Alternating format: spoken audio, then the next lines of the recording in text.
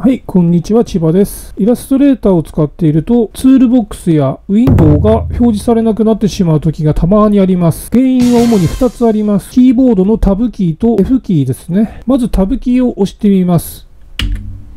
タブキーは、ウィンドウの表示、非表示を操作するショートカットになっています。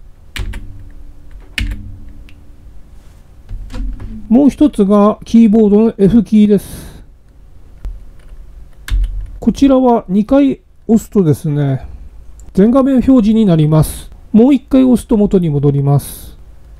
画面を広く使えて便利です。しかし、ま、これ知らないで使って、間違ってショートカットが入った場合に、あれと、ツールボックスどっかに行っちゃったよと、ウィンドウが消えちゃったと、困ってしまうことがあるので、初心者の方はこの2つのショートカットがあるということを覚えておいてください。これでも治らない場合は、OS かイラストレーター自体がバグっている可能性があるので、一度 OS を再起動してみてください。これでメニューが表示されなくなってしまった時も解決すると思います。以上です。